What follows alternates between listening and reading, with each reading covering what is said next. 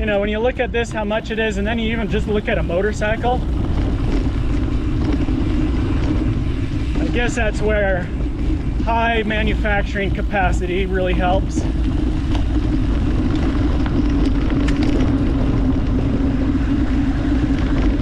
But then I've also just heard the carbon layup process, you know, still takes quite a bit of labor even when they try to automate certain aspects. Yeah. Well, then the carbon material itself, I hear that it's had high prices too. I got a carbon ring. Ring, like on your hand? Yeah. Huh. I don't know how to do it, but I really like it. Why? I didn't even know about those.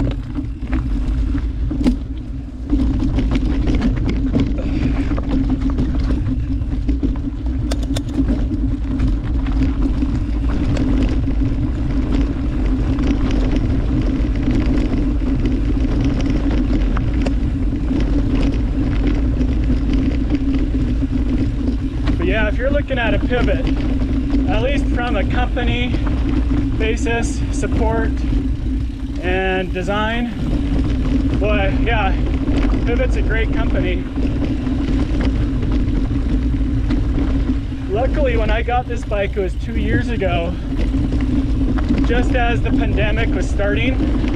And so they were still offering a NICA discount. But their NICA discount only applied to the cross country bikes too.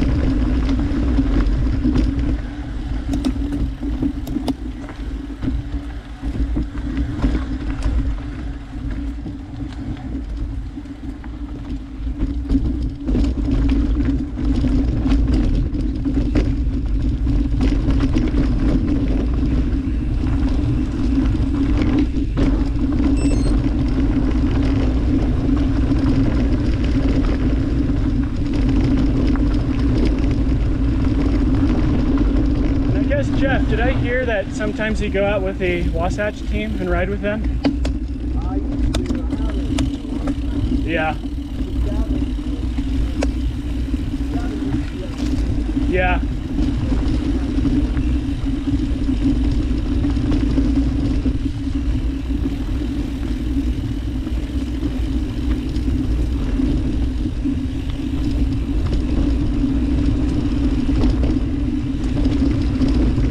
Well, we got a rider from behind. Yeah. Hey, buddy, rider from behind.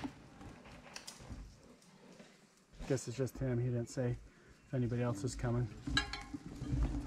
I think we're good. It's pretty wet up here. Yep.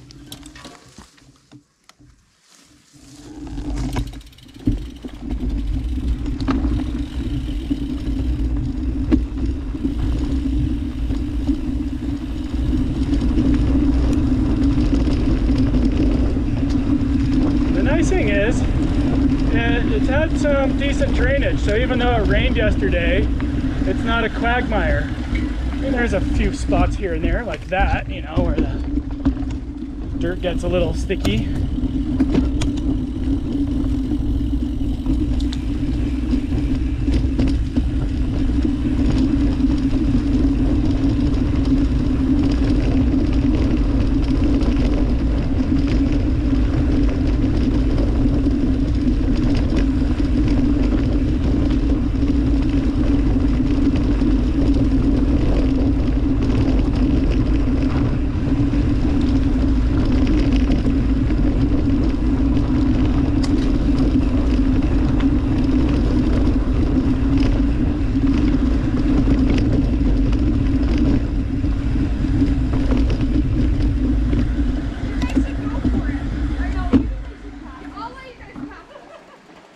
I'm good.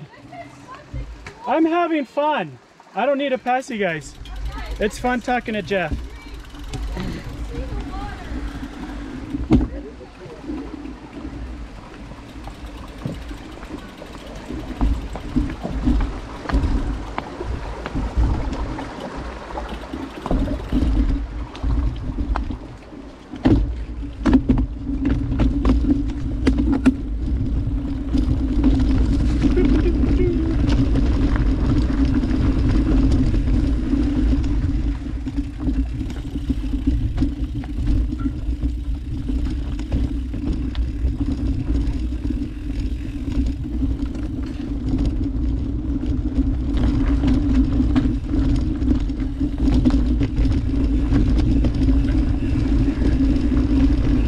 Oh, little jump there. That I should do it anyway.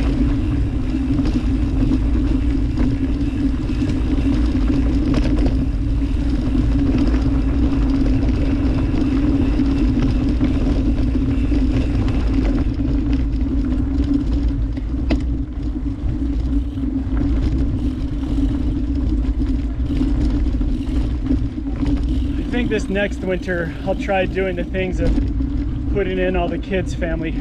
Well, you have to be over 18 for river permits. Maybe I think I used to just do it for me, but next year, Diane and me.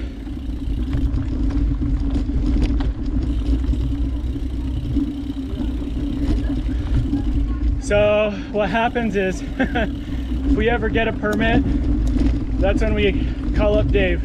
Hey Dave, you want to go on a river trip? We got a permit. Because their family, they have five fully rigged boats.